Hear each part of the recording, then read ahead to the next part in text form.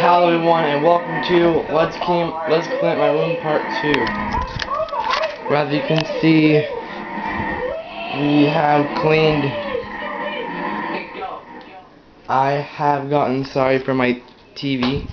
I have gotten the floor all broomed up. I moved out my fan. I just moved it back in. My bed is a mess because I put everything on it. Put my chair back. I cleaned that. That's how it's gonna be. Still gotta clean that. Doing that. Clean my bed. And then, well, I also gotta clean that. Then we're good.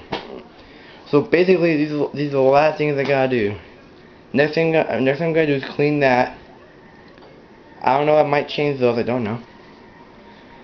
Uh, clean this. Clean that. And clean my bed. That's a lot.